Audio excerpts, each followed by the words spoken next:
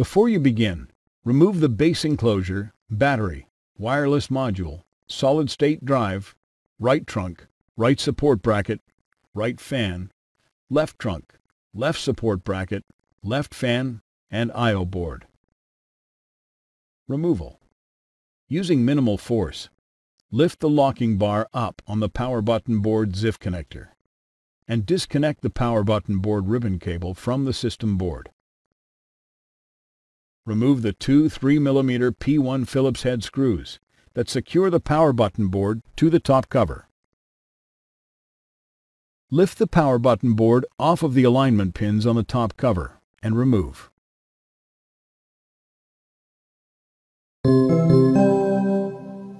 Replacement Place the power button board onto the alignment pins on the top cover. Replace the two 3mm P1 Phillips head screws that secure the power button board to the top cover. Insert the power button board ribbon cable into the power button board ZIF connector on the system board and press the locking bar down to lock the cable into place.